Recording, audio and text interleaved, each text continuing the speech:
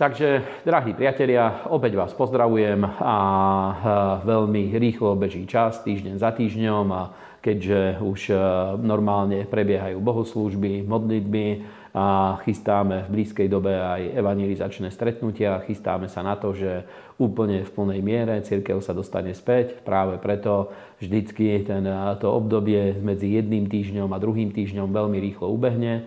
Ale ja samozrejme s veľkou láskou vás opäť pozdravujem a veľmi som rád, že e, môžeme opäť spoločne stráviť čas pri štúdiu Božieho slova. Vidím, že e, celkom je to aj pre mňa taká výzva, pretože e, v bohoslužbách ideme iným smerom, tam máme svoj program a väčšinou na týždennej báze. Snažím sa teraz v tomto novom období udržiavať tému.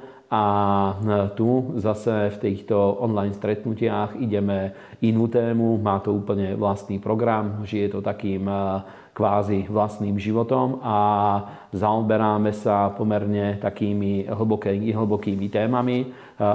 Téma tejto série je Posúvame hranice a nejako takto cítim, vnímam, že dostali sme sa niekde až úplne na dno, že viac menej túto tému pre obdobie, v ktorom sa nachádzame, sme vyčerpani Neviem to ešte povedať úplne definitívne, ale momentálne takto vnímam, takže uvidím, či ešte bude ďalej inšpirácia v tomto pokračovať alebo nie.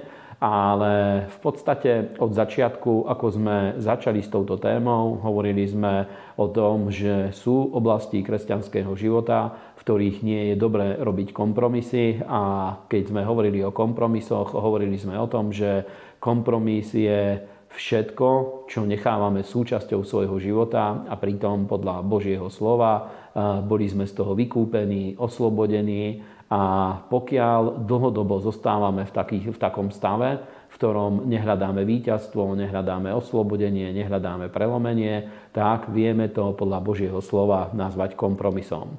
Druhá veľká časť, ku ktorej sme sa dostali, je práve to, že Božie slovo hovorí, akým spôsobom je možné prelomiť určité oblasti vo svojom živote a zaoberali sme sa tou e, témou bratského spoločenstva alebo silou zhody medzi bratmi a sestrami, silou zhody medzi veriacimi a Biblia na toto kladie pomerne veľký dôraz. Je to jeden z najväčších e, zmyslov vôbec života cirkvi, je to, že práve v spoločenstve Božieho ľudu v blízkom, osobnom, tesnom spoločenstve sa dá vytvoriť taká sila zhody, ktoré, ktoré, o ktorej Boh povedal, že tam, kde sa dvaja zhodnú na zemi, o akejkoľvek veci tam bude dané. A zase viem, že sú určití kresťania, ktorí takto interpretujú, že tá sila na zhody na zemi sa vytvára, keď jeden človek zhodne sa na niečom s Bohom, ale podľa mňa nie je dobré, aby týmto spôsobom sme narábali s Božím slovom, pretože kontext týchto veršov nám nehovorí o zhode s Bohom, aj keď verím o zjednotení sa s Bohom, o zhode s Bohom, pretože samotná viera v Božie slovo nás privádza do zhody s Bohom, pretože Boh a jeho slovo sú úplne jedno ale ten kontext písma nám jednoznačne hovorí o sile zhody s bratmi. A to je niečo, čo samozrejme je veľká výzva pre každého jedného z nás. Hovorili sme eh, o tom eh, minulé taký provokatívny názov, sme dali tomu minulému videu, že eh, čo je silnejšie ako ja a Boh. A vyslovene tak som to vnímal vo svojom duchu a vo svojom srdci, aby dali sme tomu taký provokatívny názov, ktorý trošku by vytvoril určitú zvedavosť v tých ľuďoch, ktorí si to pozrú pretože eh, viem, že zase v myslení určitého typu kresťanov je to, že pokiaľ mám blízke osobné spoločenstvo s Bohom, už nič väčšie a silnejšie nemôžem mať na svojej strane, ako je samotného Boha. A kladli sme na to dôraz, aby sme vyviedli ľudí z tohto omilu, kresťanov, zvlášť kresťanov, aby sme vyviedli z tohto omilu, pretože Biblia hovorí, že je ešte niečo mocnejšie ako ja a Boh a to je ja v zhode so svojimi bratmi a Boh na našej strane. Takže tá sila zhody je skutočne obrovská a je to samozrejme kus, veľká výzva pre každého jedného z nás, či vieme vybudovať také kvalitné spoločenstvo s niekoľkými ľuďmi okolo nás v cirkvi, s ktorými sa vieme zhodnúť na týchto božích cieľoch a na božích myšlienkach. A dneska chcel by som pokračovať ďalej a chcel by som nadviazať na to, o čom sme hovorili minulý týždeň a myslím, že už sme to aj avizovali. Chcel by som hovoriť o prekážkach zhody. Čo je prekážka toho, aby ja som mohol žiť v zhode s bratmi a sestrami. A samozrejme, že ten, eh, to, čo dneska budeme hovoriť, eh, nevie byť úplne eh, vyčerpané, pretože tých prekážok, prečo, čo bráni tomu, aby my sme mohli žiť v spoločenstve, alebo ani nie v spoločenstve, ale v zhode, v silnej, v silnej zhode so svojimi bratmi, tých prekážok vie byť veľmi veľa. Sú veľmi rafinované, tak ako všetky formy medziľudských vzťahov sú pomerne e, veľmi e, veľkou výzvou. Na každom mieste, či už sa to týka manželstva, príbuzenských vzťahov, týka sa to e, pracovných vzťahov, susedských vzťahov, obchodných vzťahov, v hociakej oblasti niekto je privedený do vzťahov, tak vždycky tieto vzťahy sú pomerne veľkou výzvou a to, ako vytvoriť kvalitné vzťahy a dlhodobo no, fungujúce vzťahy, vyzerá, že to je jedna z veľkých záhad úspešného života. Raz som čítal jednu knihu, napísal ju človek, ktorý je kresťan. Tá kniha patrí do štýlu Eh, do toho knižného štýlu alebo písateľského štýlu motivačnej literatúry, ale viem o tom človeku, že je kresťan, je znovu zrodený, je dokonca naplnený Svetým duchom a daroval mi ju jeden priateľ z cirkvi, jeden brat, a preto mi ju priniesol, lebo sám ju prečítal a on sa k nej dostal takým spôsobom, že v jednej relácii pastor Benny Hinn mal tohto človeka pozvaného a spolu sa rozprávali o tejto knihe. Takže on to našiel, zistil, že existuje aj v češtine a priniesol mi ju a ja následne kúpil som niekoľko kusov a rozdal som to medzi viacerých bratov, ale to není podstatné. Podstata je v tom, že eh, tento človek je veľmi úspešný finančník, je veľmi úspešný investor, popri tom je kresťan a eh, hovoril o úspešnom živote,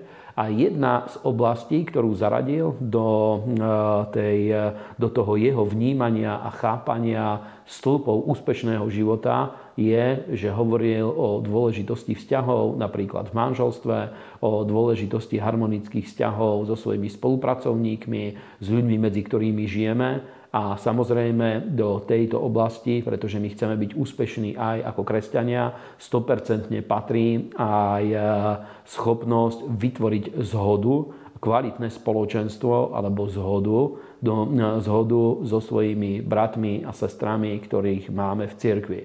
Samozrejme, že e, zvlášť keď zbory sú väčšie, presiahnu veľkosť dvoch, troch desiatok ľudí, už nie je také jednoduché s väčšinou ľudí alebo so všetkými ľuďmi vytvoriť absolútne eh, silnú zhodu. Ale zase v cirkvi existuje niečo také ako štruktúra a určite, ak je treba hľadať vytvorenie zhody na nejakých úrovniach, tak je dôležité, aby veriaci vedeli sa zhodnúť so svojimi pastormi, aby sa vedeli, aby sme hľadali vytvorenie zhody, ja neviem, s rôznymi úrovniami toho vodcovstva, ktoré je v cirkvi, tak ako k tomu vieme mať väzbu, ako k tomu vieme mať prístup.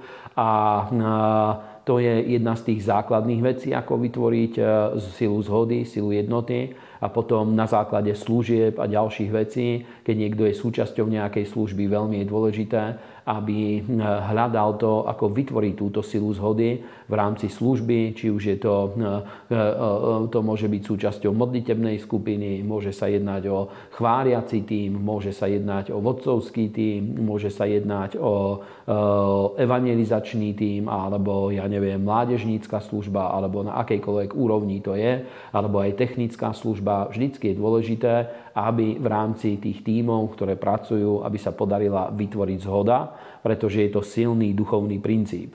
A chcel by som vám ukázať najprv jeden príbeh, ktorý je z Biblie veľmi dôležitý. V Biblii veľmi dôležitý, aby sme opäť vyzdvihli tú silu zhody, bratské e, silu, medzi, e, silu zhody medzi bratmi a je to zvlášť známy príbeh zo 16. kapitoly skutkov Apoštolov a chcel by som prečítať ten príbeh, e, ako Apoštol Pavol, Pavol a Sílas, ako sa dostali do väzenia a ako boli z neho oslobodení.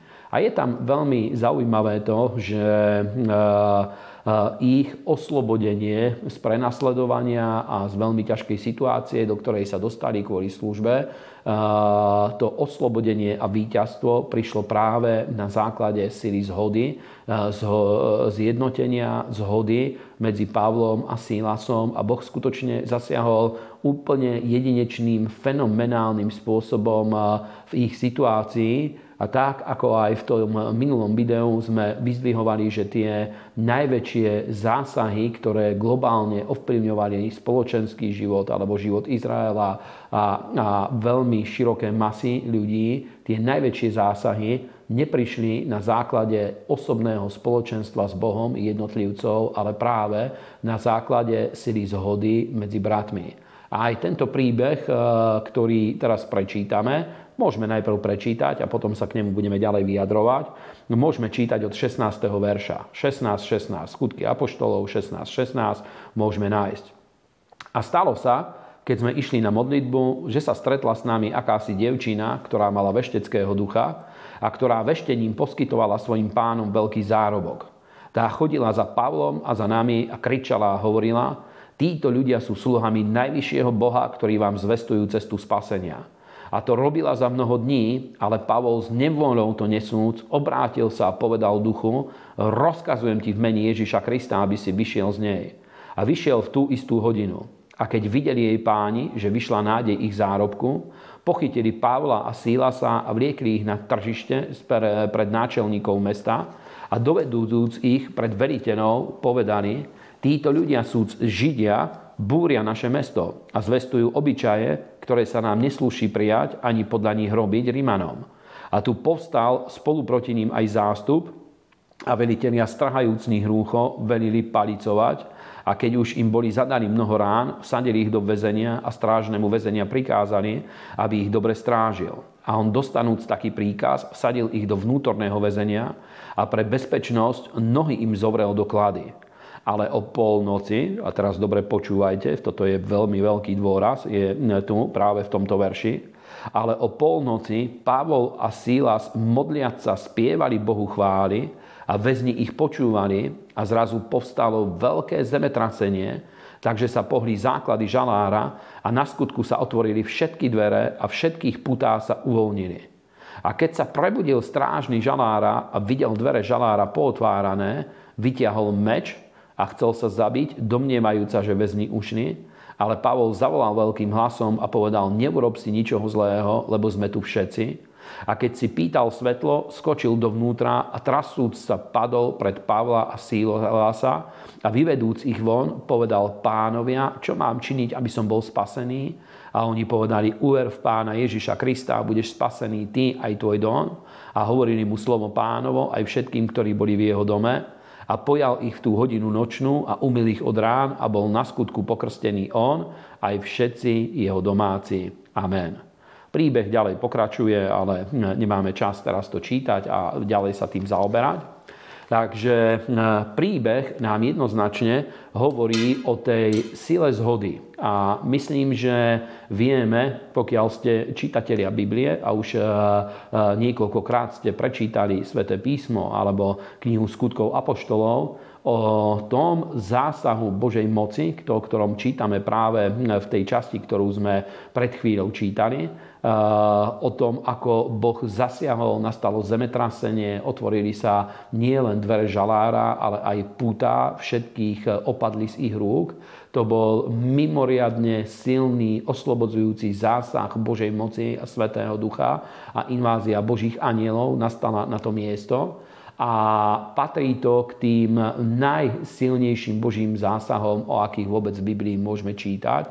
Je to porovnateľné, ja neviem, s tým, ako traja mládenci boli zachránení v ohnivej peci, kde mimo iné tiež sa jednalo práve o silu zhody medzi bratmi aj v ohnivej peci, keď sa medzi nimi ukázal štvrtý muž, podobný synovi bohov, za dní, za dní kráľa Nabuchodonozora. Môžeme to čítať v knihe Daniel. A rovnako aj tu táto manifestácia bola výsledkom nie osobného vzťahu s Bohom, ale bola výsledkom sily zhody, e, sily zhody medzi bratmi, a mimochodom práve táto situácia dala, e, e, postavila, bola začiatkom, základom vybudovania zboru vo Filipis, ktorý sa stal veľmi silný a veľmi dôležitý zbor. A niektorí hovoria, že Lukáš, písateľ Evanielia, Lukášovho Evanielia, ktorý bol aj písateľ skutkov apoštolov a bol Pavlovým spolucestovateľom, hovoria, že taký významný človek, ako bol Lukáš, pochádzal práve z tohto filipského zboru. Ja neviem úplne na 100% to potvrdiť, ale e, teraz, keď o tom hovoríme, táto informácia sa vo mne niekde e, v mojej pamäti vynorila, možno na Akadémii svätého Pavla alebo niekde inde e, sme sa o tom učili. Teda vidíme, že sila zhody Nechcem hovoriť na schvál o jednote, pretože jednota je veľmi sprofanovaný výraz, zvlášť v kresťanskom svete, v určitých kruhoch a veľmi sa tlačí na to, aby vznikala rôzna ekumenická jednota a na duševnej rovine snažia sa ľudia vytvoriť e, jednotu. A preto ja hovorím o zhode, pretože aj boj, toto je biblický výraz. A e, ten, e, tá zhoda, o ktorej Biblia hovorí, hovorí skutočne o tom vydaní sa jedným smerom, o vytvorení symfónie. Hovorili sme o tom už v minulých videách. A ten výsledok, ktorý táto zhoda prináša, je absolútne fenomenálny a jedinečný. A teda vidíte aj v tomto príbehu práve kľúčom oslobodenia a víťazstva v službe, prelomenia v službe bolo práve to, aby povstala takáto sila zhody a sila jednoty. A my teraz počas letničnej nedele, ak si spomeniete, v podstate počas celého minulého týždňa, aj vo štvrtok alebo v stredu, respektíve teda na týždňových bohoslužbách v Bratislave aj v Martine, aj počas nedele veľmi silný dôraz sme kládli na smelosť a na smelosť v službe Evanielia. A vidíte, že služba Evanielia má silné protivenstvo. Je voči tomu, aby kresťania boli silní v službe Evanielia a práve sila zhody medzi bratmi, pokiaľ sa podarí nám vytvoriť túto silu zhody medzi kresťanmi, a každý by mal nájsť takých duchovných priateľov, s ktorými sa vie zhodnúť, s ktorými vie vytvoriť eh, duchovnú zhodu, tá, a pokiaľ sa to podarí vytvoriť, ja som absolútne presvedčený, že aj v tejto službe Evanielia budeme o mnoho, o mnoho, o mnoho úspešnejší. Keď hovoríme o tejto sile zhody, ktorú, na, ktorú, na ktorú ukazujeme počas tohto videa, tak rád by som vyzmihol to, že zhoda, za zhodu nie je možné považovať ten fenomén, za biblickú zhodu nie je možné považovať ten fenomén, čo občas sa vytvorí, že vo vnútri určitých skupín alebo vo vnútri zborov niekedy vzniknú také, môžeme to nazvať v úvodzovkách opozičné skupiny, ktoré snažia sa vytvárať alebo ktoré vznikajú na základe priateľstiev alebo jednoty v tom, že majú opozičné názory oproti, nazvíme to, takému hlavnému prúdu, ktorý ide vo vnútri, vo vnútri zboru alebo vo vnútri nejakého hnutia. A veľakrát ten opozičný názor alebo vzbúra rôzne iné veci, vytvorí platformu pre nejakú zvrátenú formu jednoty, a to by som rád povedal, že tu na nie, toto nemôžeme z biblického hľadiska zadefinovať ako zhodu a zjednotenie sa alebo zhodu, o ktorej nám Božie slovo hovorí. Tento druh zhody neprináša žiaden posun dopredu a žiaden výsledok. A práve veľakrát to sa deje, že kresťania túto silu zhody si zamieňajú v tom napríklad, že keď spolu bojujú spoločne so spoločnými problémami, tak ja neviem, poviem príklad. Môže byť skupina bratov, ktorí cítia, že nemajú slobodu v oblasti pornografie. Ja neviem, či taká skupina existuje, nikdy som sa s tým nestretol, to hovorím len ako príklad a nejako vnútorne vycítia, že spoločne s týmto bojujú a pokiaľ sa zjednotia len kvôli tomu, aby sa im podarilo zakrývať túto neslobodu, tak to, to nie je reč o biblickej zhode a veľmi veľa ale vzťahov, ktoré v cirkvi vznikajú, vznikajú práve na základe týchto duševných väzieb a nevznikajú na základe duchovných práv, lebo keď hovoríme o zhode a chceme vytvoriť zhodu, cieľom je vytvoriť také duchovné spoločenstvo, ktoré má, je spojené s podriadenosťou voči Bohu, je spojené s tým, že je založené na pravde Božieho slova a vytvára zhodu a jednotu na pozitívnych cieľoch. Napríklad, keď je reč o sile zhody, tak je reč o tom, že spoločne chceme prelomiť v službe alebo môže sa stať, že niekto má zdravotné problémy a sú ľudia, ktorí v oblasti uzdravenia zažili e, víťazstva a dá sa vidieť, že Boh im otvoril mysel a dal im pomazanie na to, aby ostatných krným kresťanom slúžili v tom, aby vedeli prijať e, uzdravenie, tak napríklad môže vzniknúť skupina alebo môže nastať jednota e, medzi jedným, dvomi, tromi bratmi, ktorí majú za cieľ jednému človeku pomôcť, aby, sa, aby prijal uzdravenie a aby bol uzdravený alebo aby bol oslobodený v nejakej oblasti. A takýmto spôsobom je, vie vznikať zhoda medzi bratmi a vie vznikať tá biblická zhoda, o ktorej hovoríme. A teraz chcel by som ukázať na niekoľko fenoménov, asi iba tri kvôli času. Sú tri také oblasti, ktorých by som sa chcel veľmi dotknúť, o ktorých 100% vieme povedať, že kazia túto silu zhody a silu, silu duchovnej jednoty medzi bratmi a sestrami. Lebo hovoríme o veľmi blízkych, veľmi tesných vzťahoch. Napríklad, ja neviem, na pracovisku to môže byť, že v jednom pracovnom týme Eh, aj keď tým má spoločné pracovné zadanie, sú eh, ešte tesnejšie formy spolupráce. Napríklad eh, môžu byť ľudia, ktorí v rámci IT sektoru môže byť to, že sú programátori, ktorí spolupracujú na programovaní, ale v rámci toho istého týmu môžu byť aj grafici a môžu byť ešte ďalší ľudia, ktorí strážia ekonomiku celého projektu a tak ďalej a spolu vytvárajú jeden tím, ale vo vnútri existujú aj tesnejšie väzby. A preto to chcem použiť, aby sme mali aj praktický príklad z praktického života. V cirkvi je to tiež veľmi podobné, zvlášť preto, že e, zbory, v ktorých slúžime, väčšina z nich e, už má e, viac ako 100 členov, niektoré aj niekoľko 100 členov môžu mať a majú pomerne silnú, máme pomerne silnú členskú základňu preto chcem ukázať to, že aj keď ideme jedným smerom, tá sila zhody nefunguje v tom, že ja sa zhodnem so všetkými ľuďmi, ale musí existovať ešte tesnejšie spoločenstvo, v ktorom sa dá vybudovať táto sila zhody. A je jeden príbeh, musím povedať, že od začiatku na tento príbeh ja som sa odvolával, ale zatiaľ sa nám nepodarilo, aby viac času sme mu venovali a ten by som chcel teraz s vami rozobrať. Je to príbeh zo skutkov Apoštolov z 5. kapitoly a je to známy príbeh Annáša a Zafíry. Ja už som sa v tých predchádzajúcich videách trošku dotkol tohto príbehu, ale chcel by som sa naň pozrieť trochu hĺbšie. A najprv znovu prečítajme príbeh, je to 5. kapitola od 1. verša.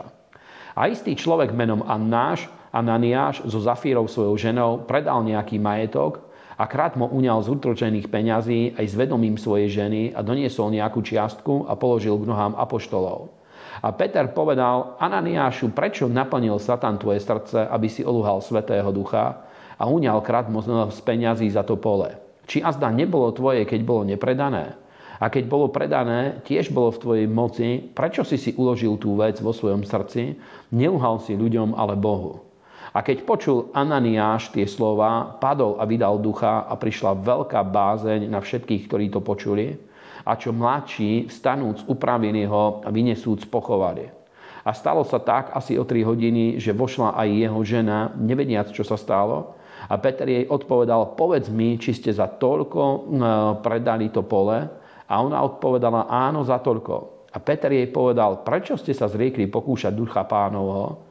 Hľa, nohy tých, ktorí pochovaní tvojho muža, sú pri dverách a vynesú aj teba. A padla na skutku k jeho nohám a vydala ducha a keď vošli mládenci, našli ju mŕtvu a vyniesli ju a pochovali k jej mužovi a prišla veľká bázeň na celú cirkev a na všetkých, ktorí to počuli. A skrze ruky apoštolov dialo sa mnoho divov a zázrakov medzi ľudom a všetci boli jednomyselne v dvorane Šalamúnovej a z ostatných im nikto, sa im nikto neopovážil pripojiť, ale ľud ich zveleboval a čím ďalej, tým viacej veriacich sa pridávalo pánovi množstva mužov a žien.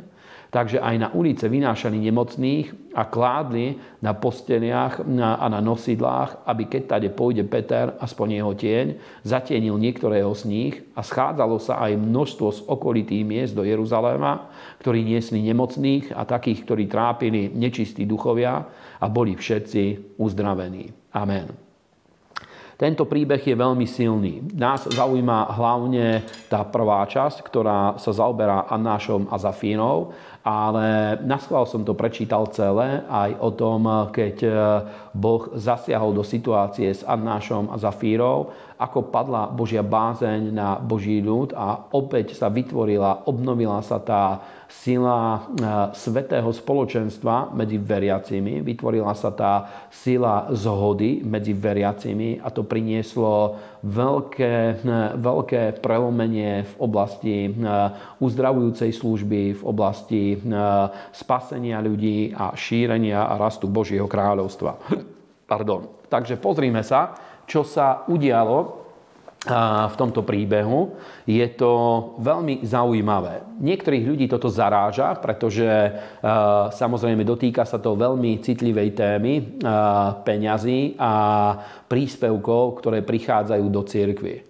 A keď chceme pochopiť tento príbeh, podľa mňa treba začať už tej predchádzajúcej kapitole. Nemáme často čítať, ale môžete si to tam nájsť. Je tam napísané asi toľko, že bol Barnabáš Jozef eh, Levita, rodom z Cypru, ktorý dostal tú prezývku Barnabáš alebo syn potešenia, ktorý v Jeruzaleme vlastnil nejaké pozemky a on ich predal a peniaze priniesol k nohám apoštolov. A tento človek to urobil na základe úplne čistej, nezištnej, vedeli by sme povedať, že detskej viery, úplne s absolútne čistými motívami toto urobil a podľa mňa e, on bol človek veľmi ľahkého srdca. Nehľadal rôzne postranné motívy, ale vo všetkom tom, čo robil, bol absolútne pravdivý, bol absolútne priamy a spravil to úplne s ľahkým, dobrým srdcom. A bol to taký mimoriadný skutok viery, a, ktorý rozpoznali apoštolovia a nejakým spôsobom je tento Barnabáš, dostal sa do blízkosti apoštolov a stal sa veľmi dôležitý, čo sa týka služby v Jeruzalemskom zbore a aj globálne v cirkvi. Neskôr sa stal blízkym spolupracovníkom apoštola Pavla. Ešte ho dneska budeme spomínať v jednej inej veci a e, on bol ten, ktorý ináč aj e, vytiahol, tak povediac v úvodzovkách, vytiahol Apoštola Pavla, pretože keď Pavol sa obrátil, on bol ten, ktorý ho vyhľadal, priviedol ho k Apoštolom a e, neskôr, keď Pavol sa vrátil späť do Týru, tak e, znovu ho tam vyhľadal po nejakom období, keď išiel slúžiť do Antiochie, znovu ho vyhľadal a priviedol ho do zboru v Antiochii a pomohol mu začleniť sa do toho vodcovského týmu a odtiaľ neskôr e, Pavol bol vyslaný do služby na prvú misijnú cestu a tak ďalej.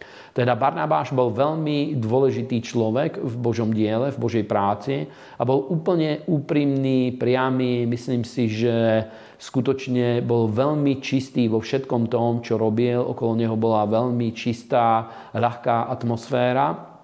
A to, čo robil, robil v úplnej úprimnosti, robil to v priamosti svojho srdca a bol to veľmi veľký skutok, ktorý urobil, pretože veľké hodnoty priniesol do Božieho diela a tak to rozpoznali apoštolovia skrze dar rozoznávania duchov, rozpoznali to, že skutočne na tomto človeku silne pracuje Božia ruka a stal sa človekom, ktorý mal veľký vplyv v rámci služby v Jeruzaleme aj za hranicami Jeruzalemského zboru.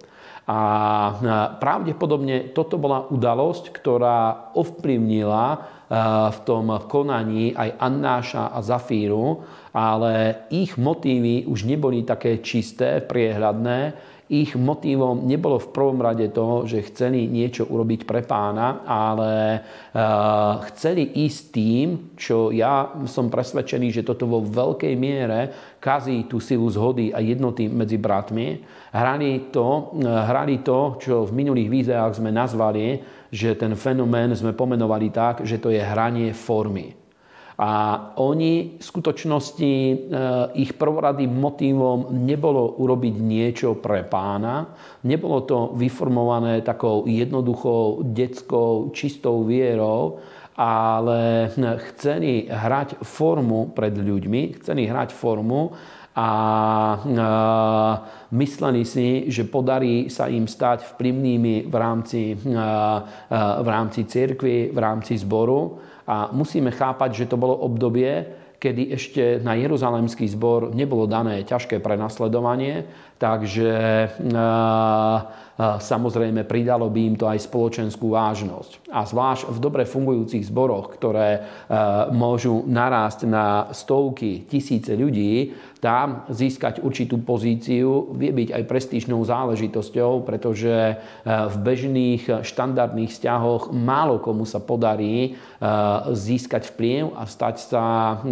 takou spoločensky významnou osobou v rámci komunity viac stoviek alebo tisíc ľudí. A keď už zbory sa dostanú na túto úroveň, vtedy už pre určitých ľudí to môže byť veľmi atraktívna vec. Takýto napríklad bol aj motív čarodejníka Šimona, v Samárii, ktorý tiež chcel priniesť peniaze apoštolom. Je to podobný príbeh, opäť v ňom vystupujú peniaze.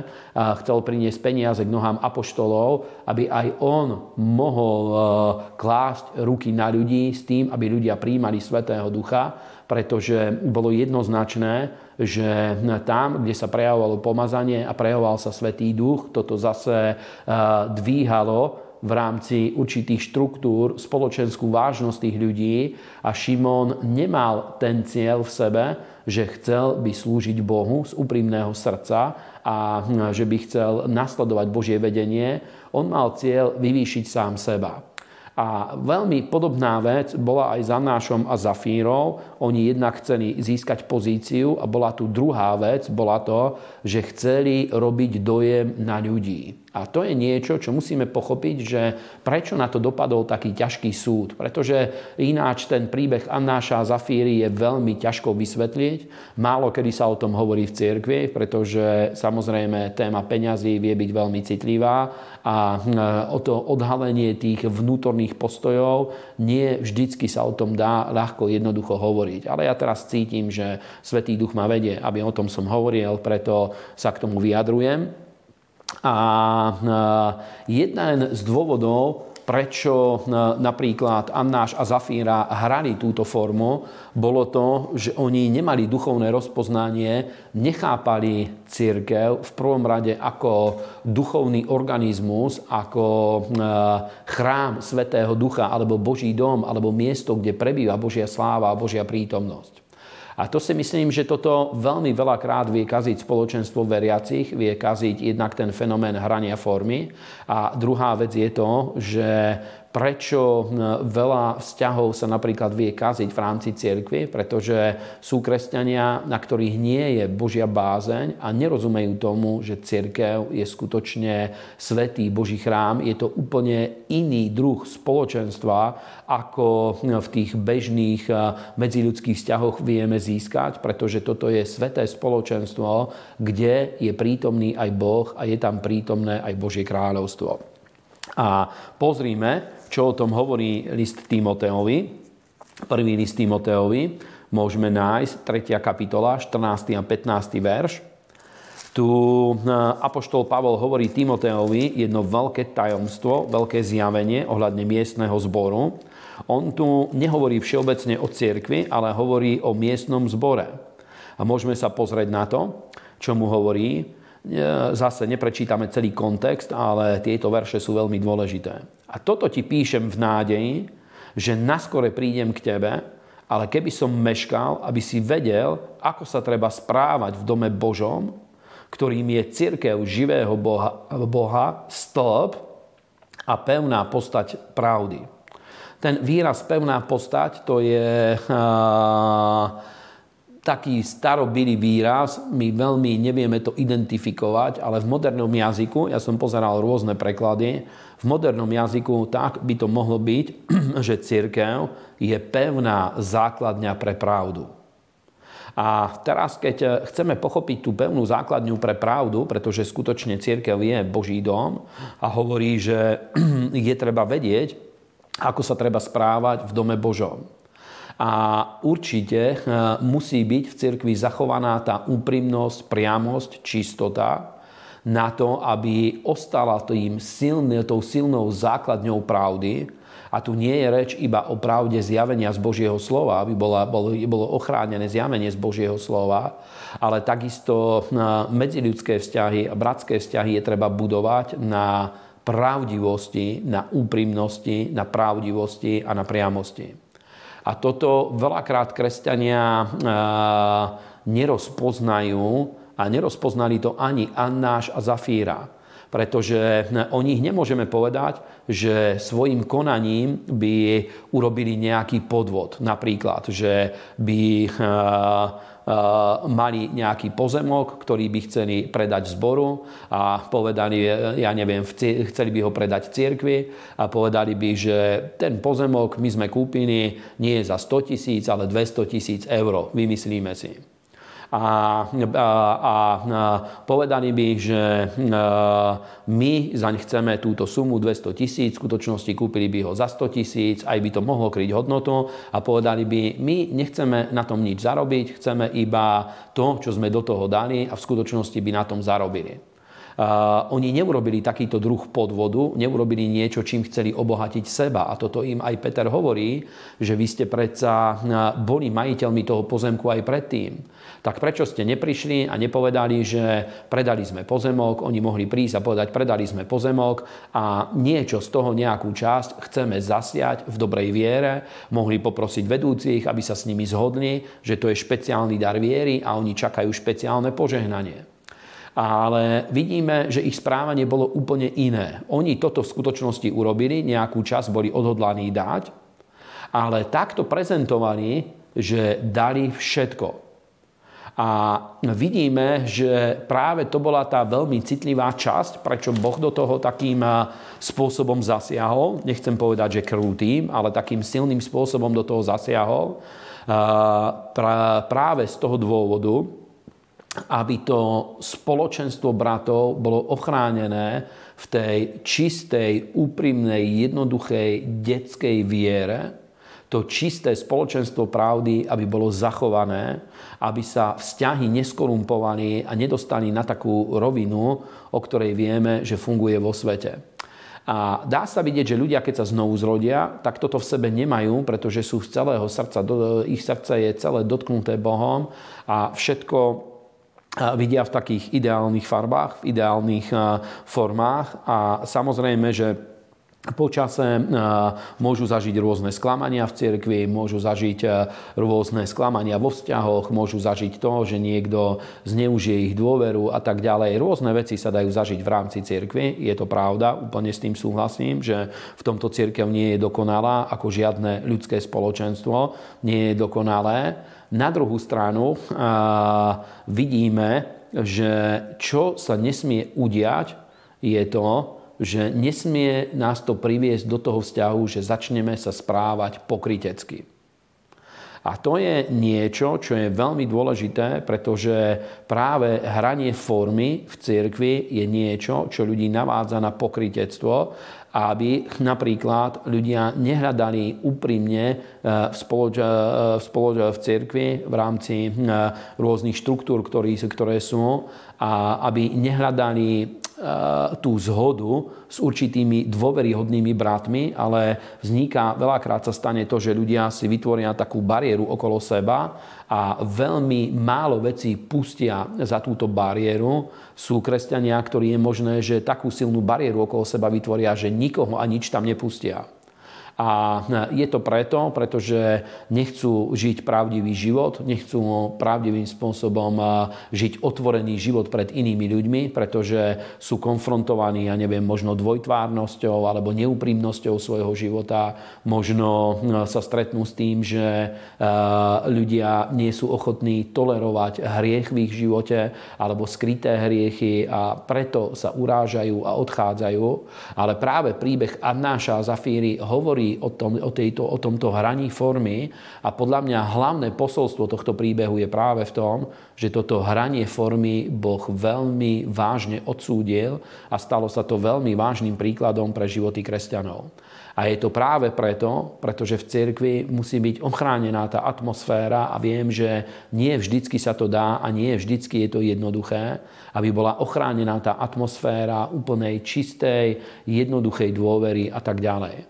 A musím povedať, že veľmi si vážim tých bratov a sestry, ktorí celé roky sú schopní vždycky znovu očistiť svoju dušu, svoju mysel z rôznych záťaží, pretože každý z nás zažijeme aj tieto sklamania, zažijeme aj rôzne veci v medziľudských vzťahoch, ale stále znovu je dôležité obnoviť svoju dušu, aj svoju vieru a svoj duchovný život do toho stavu, aby sme vedeli vybudovať takéto silné duchovné spoločenstvo jednoty a zhody, v ktorom vieme e, spoločne ísť proti diablovi, v ktorom vieme stáť proti hriechom, v ktorom vieme stáť proti démonom a vieme jeden druhému pomáhať v tom, povzbudiť jeden druhého v tom, aby sme získali víťazstvo v Bohu a v Božom kráľovstve.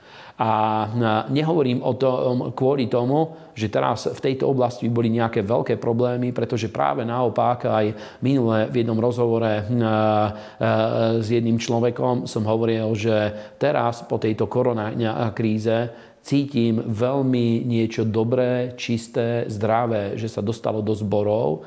Možno práve preto, že dlhší čas nebolo toto blízke bratské spoločenstvo a znovu je cítiť také nadšenie, ale cítim aj niečo veľmi zdravé, veľmi silné, niečo veľmi čisté, že je medzi kresťanmi a bol by som rád, keby sa to podarilo ochrániť a podarilo by sa to udržať aby sme mohli mať túto silu zhody, aby sme sa mohli posúvať ďalej.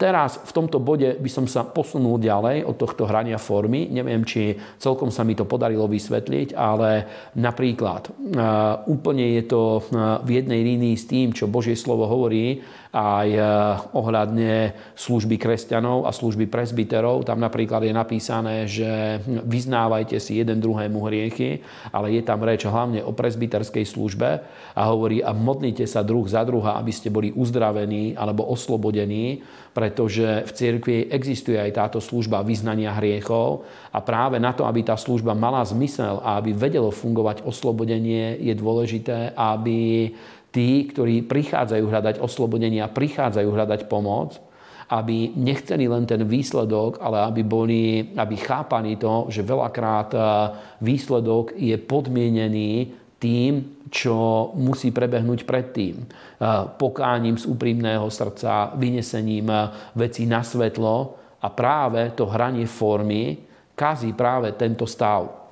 Napríklad vám poviem, že vedúci, v ktorých pracuje Svetý Duch, veľakrát toto vedia rozpoznať. A je toľko taktnosti, napríklad aj vo mne veľakrát je toľko taktnosti, že ja nechcem konfrontovať ľudí, aj keď vidím ich nie dobrý duchovný stav. A samozrejme aj to chápem, že každý občas môže mať lepšie obdobie a občas sa môže trochu unaviť Ale veľmi je smutné to, keď dlhý čas v tomto ľudia žijú a keď sa ukážu v cirkvi, e, vystupujú tak, akože všetko je v poriadku, ale je cítiť, že ich e, spoločenstvo s Bohom úplne sa niekde strátilo a veľakrát sa to zakamufluje za také reči, napríklad, že ale ja čítam Bibliu, alebo ja neviem, že ja sa doma modlím a tak ďalej čo je úplne v poriadku, ale podstata je, že treba žiť v úplnej slobode a treba znenávidieť aj hriechy, treba znenávidieť choroby, treba znenávidieť aj toto pokritectvo a treba hľadať skutočne to úprimné, priame, čisté spoločenstvo. Ja eh, neviem sám úplne presne toto posúdiť, eh, pretože nechcem veľa hovoriť o sebe, ale eh, ja snažím sa celé roky v cirkvi vystupovať tak,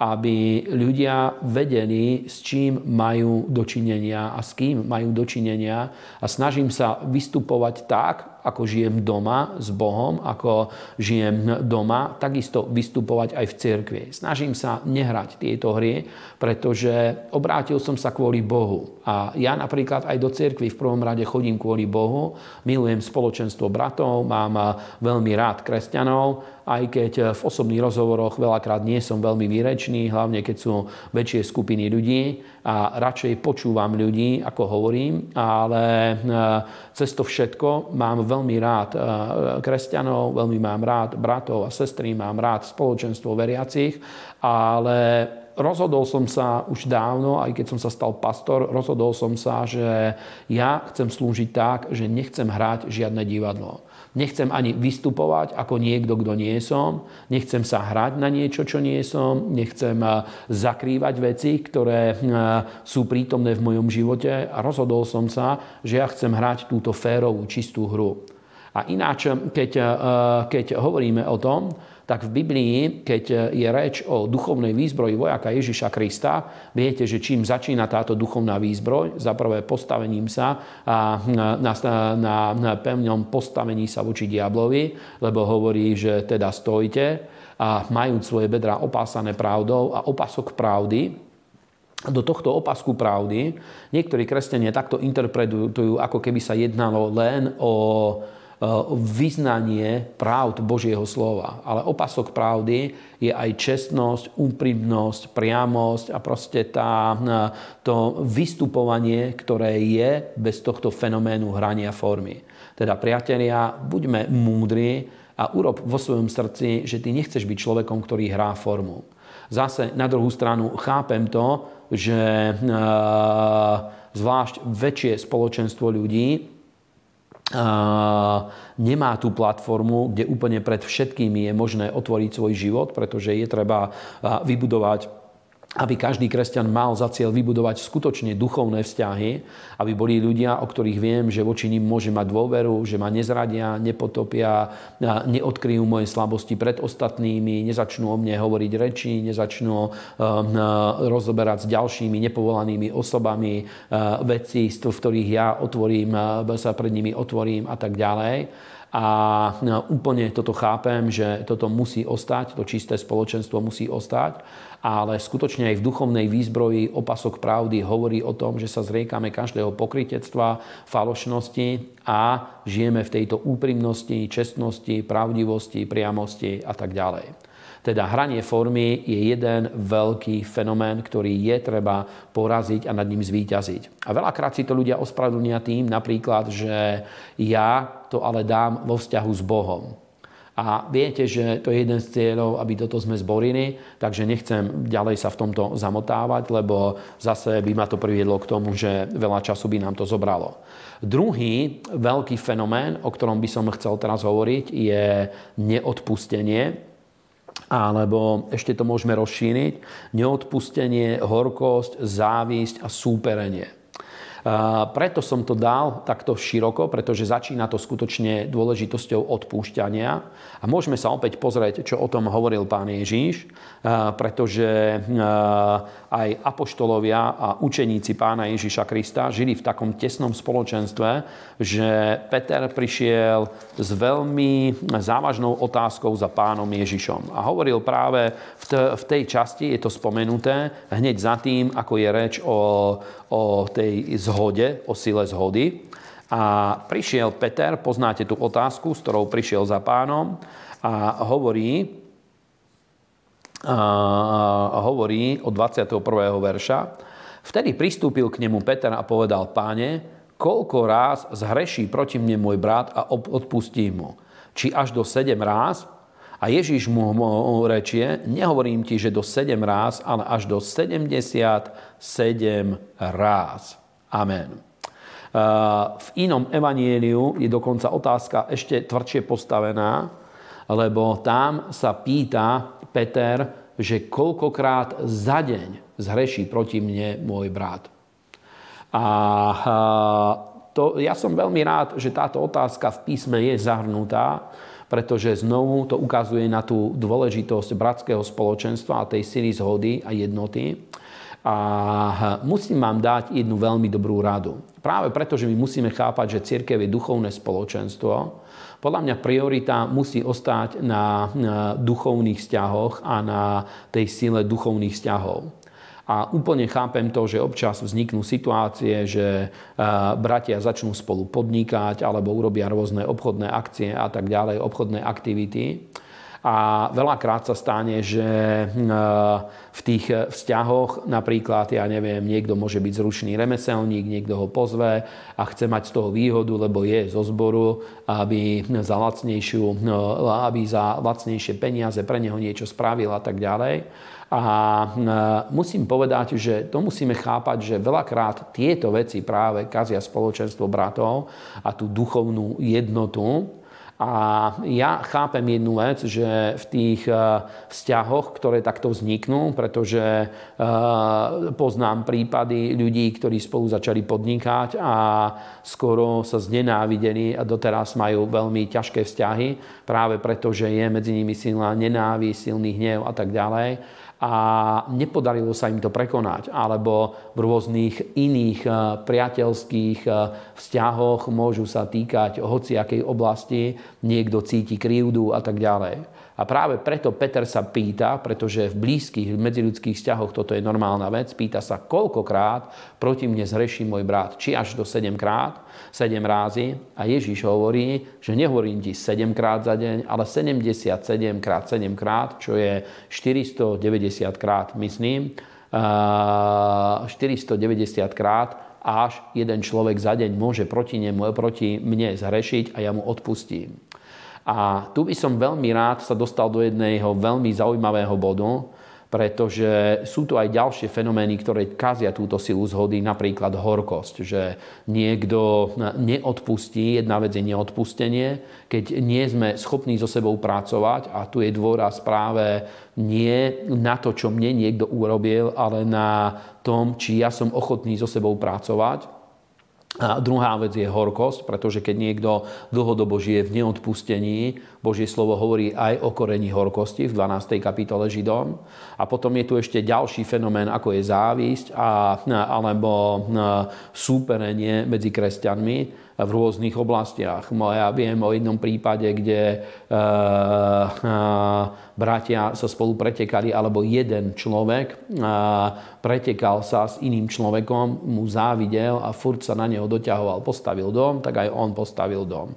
A postaviť dom není zlé ale ja vždycky tak som to chápal. Ja mám veľmi rád pánové požehnanie, veľmi si ho užívam a tak ďalej ale nikdy som netúžil po Božom požehnaní kvôli tomu, aby som sa ukazoval, ale kvôli tomu, že všetko to, čím ma Boh požehnal, v maximálnej možnej miere si užívam a verím, že Božie požehnanie mi Boh dáva pre mňa samotného. A samozrejme viem sa podeliť, viem iných ľudí požehnať, ale už to je zlý motív, že niekto napríklad eh, chce tiež byť požehnaný, aby sa vyrovnal niekomu druhému, to je podľa mňa neprípustné v duchovnom chápaní veci a v duchovnom spoločenstve. Teda je treba sa vyvarovať tohto. A otázka je napríklad pri neodpustení a pri horkosti, pri nenávisti, závisti alebo súperení je to, že či reagujem a správam sa ako duchovný človek alebo ako telesný človek. Teraz Galackým 5 poznáte ovocie ducha a my nemáme čas teraz hovoriť o, o ovoci ducha, čítať to, ale tam nájdete všetky tieto veci. Závisť, nenávisť, prianie zlého, všetky tieto veci skoro by sa tam vedeli nájsť. A musím povedať, že včetne neodpustenia a hnevy, žiarlenia, dráždenia, všetky tieto veci sú tam. To patrí do skutkov tela. Teda ja musím vedieť jednu vec, že iba do takej miery si môžem ľudí pustiť do svojej blízkosti, alebo ja sa zaangažovať do blízkych vzťahov s inými ľuďmi, do akej miery viem ostať duchovným človekom. Aby sa nestalo to, že presne toto sa vo mne vytvorí, tieto zlé telesné postoje. A keď ide o to, že ľudia, ktorí prepadnú do tohto fenoménu, napríklad majú, neod, majú problém s neodpustením alebo majú problém s horkosťou na nejakého človeka, je to veľmi zaujímavé, lebo veľakrát ich argument je, že ale on mi urobil to a to. A znovu je to veľmi zábavné, je to veľmi humorné, pretože Ježiš hovorí, či až 7 krát mu odpustím. A Ježiš hovorí, že nie 7, ale 77 krát 7. Čím mu hovorí, že človeče, prebuď sa, že 7 krát, musíš odpúšťať do nekonečna. To vtedy, eh, ak chceš zostať v jednote s bratmi, musíš sa naučiť odpúšťať do nekonečna stále. A tu by som rád povedal, že keď žijeme ako duchovní ľudia, my musíme chápať prikázanie lásky. A zase v Jánovom evaníliu je napísané, že eh, keď my milujeme bratov, tak Boh zostáva v nás a jeho, a jeho láska je v nás dokonaná. A je to zase veľmi silný dôraz, je tam položený. A musím povedať, že keď ide o to, keď ja argumentujem sám sebou, tak vám poviem, že najdôležitejšou pravdou je, že ja musím o sebe rozmýšľať, či ja chodím v láske, pretože prikázanie chodiť v láske, nesmiem rozmýšľať takto, že tento človek sa voči mne nezachoval v láske. Pretože Boh mne dal prikázanie lásky a my každý musíme sami na seba dbať, či ja chodím v láske voči druhým ľuďom, alebo nie. A možno prídem na to, že uh, možno tento človek uh, ma nahneval, možno ma urazil, možno sa nezasprával tak, ako ja by som chcel, ale ja chodím v láske, preto mu odpúšťam, povznesiem sa na to a nedovolím tomu, aby ma to odtrhlo od spoločenstva s bratmi, aby ma to dostalo od spoločenstva cirkvi, pretože bez tejto sily zhody sa nedá presadzovať Božie kráľovstvo v tomto svete. A sú rôzne hnutia kresťanov, ktoré práve hovoria o tom, že e, spoločenstvo kresťanov není až taká dôležitá vec. Najdôležitejšie je spoločenstvo s Bohom.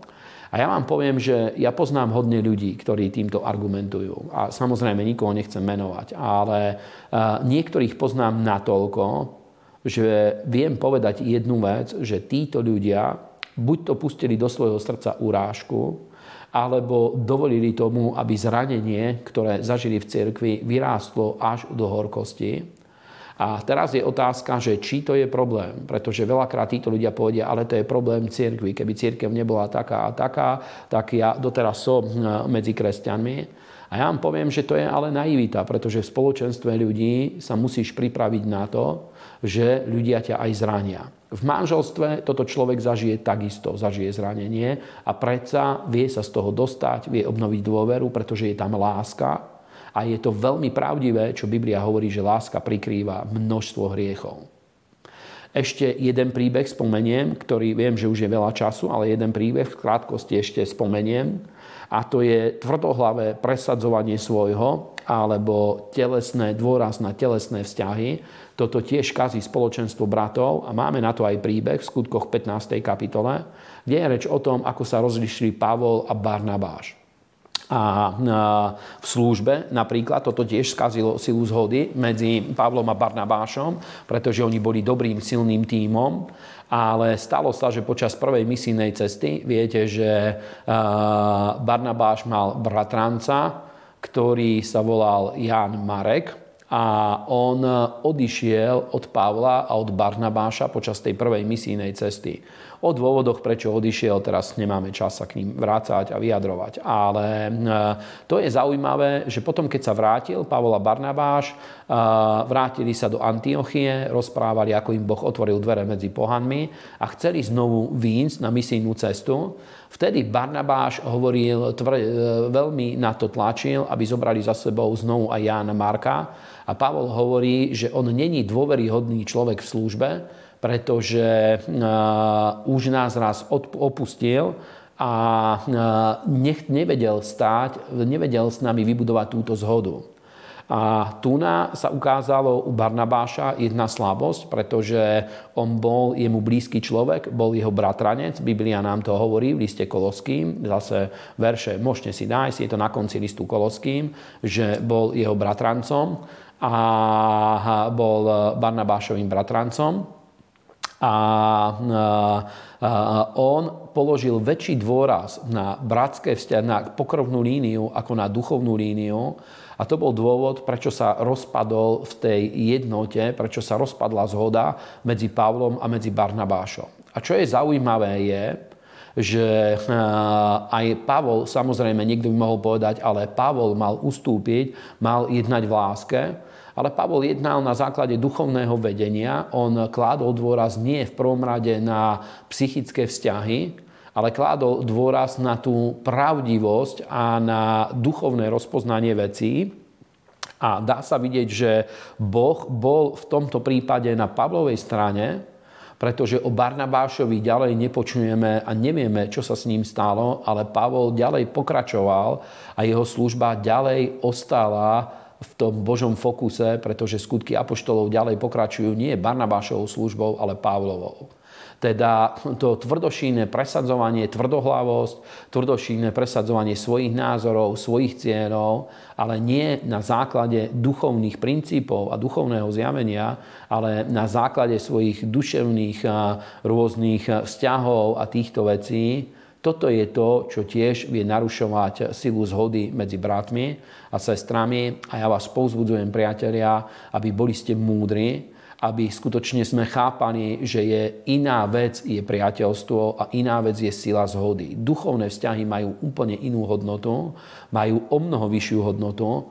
Dokonca dá sa vidieť, že dá sa vybudovať duchovná jednota aj s ľuďmi, s ktorými na duševnej rovine si nemusíme byť až taký blízky, ale je v nás jeden duch. A ja to vidím, je veľa rôznych bratov v mojej blízkosti, s ktorými mám eh, blízke bratské vzťahy, ktorých si veľmi vážim, ktorý, s ktorými pravdepodobne na ľudskej rovine, lebo musím povedať, že v cirkvi je málo ľudí, s ktorými na ľudskej rovine, pokiaľ by sme sa nestali kresťania, mohlo by sa stať, že by e, bol by tam veľmi minimálny predpoklad, že by sme vytvorili blízke e, priateľstvo, spolužitie, e, komunitný život a tak ďalej s ľuďmi, ktorí sú dneska v cirkvi, pretože je veľmi málo prirodzených vecí, ktoré nás spájajú, ale dôraz na duchovné hodnoty a ten rovnaký duch, ktorý je v nás, nás spája a vie byť medzi nami silné bratské spoločenstvo, vie byť medzi nami silné duchovné spoločenstvo a sila zhody, teda ja vidím, že sa to dá a funguje to. A ja vás prosím, priatelia, aby ste chápali církev v prvom rade týmto duchovným spôsobom. To neznamená, že samozrejme e, úplne neemotívne a neduševne máme sa správať v rámci cirkvi. Ja mám veľmi rád radosť, zábavu. Sú ľudia, s ktorými viem sa rozprávať o politike, sú ľudia, s ktorými sa vieme rozprávať o peniazoch, o investíciách, o rodine, o autách, o čomkoľvek sa vieme rozprávať ale duchovné vzťahy to je niečo úplne iné, kde je táto sila zhody a v skutočnosti prelomenie a víťazstvo a silu požehnania prináša práve táto duchovná zhoda. Teda ja vás prosím, buďme v tomto múdri, vyvarujme sa týmto veciam.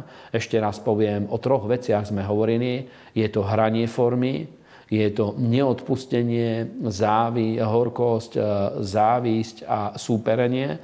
A treťou vecou bolo e, tvrdohlavosť alebo e, prikláňanie dôrazu k duševným vzťahom, väčšiemu dôrazu k duševným vzťahom ako k duchovným vzťahom. A buďme múdri, nech vás Boh požehná a ja vám prajem, aby z celej tejto série zobrali ste veľmi veľa požehnania. Nech Pán vám dá milosť a silu a pomazanie, aby ste, aby ste vedeli vybudovať a spoločne, aby sme vedeli vybudovať také bratsko-sesterské spoločenstvo, v ktorých eh, vieme mať túto silu zhody. Ja videl som počas týchto dní, už ako išla táto séria, že viacerí ľudia prišli a pravdivo pomenovali svoje problémy, o ktorých viem, že niektorí aj roky v nich boli zasekaní a nedalo sa s nimi o tom hovoriť, nevedel som nájsť tú cestu, ako s nimi hovoriť a Božie slovo sa ich dotklo a pravdivo pomenovali rôzne životné situácie a Boh im dal oslobodenie a víťazstvo a ja vás povzbudzujem, aby ste boli múdri, silní, aby ste v pravde nasledovali pána, aby sme vybudovali toto silné spoločenstvo. A prajem vám, aby Boh vám dal milosť, aby sme vedeli aj spoločne, aby nám dal milosť, aby sme vedeli posunúť hranice nášho duchovného života aj služby o mnoho ďalej. A myslím, že na budúce sa stretneme už pri ďalšej sérii. A, takže prajem vám veľa požehnania, zostávame spolu, na budúci týždeň bude ďalšie video, takže Boh vás žehnaj. Amen.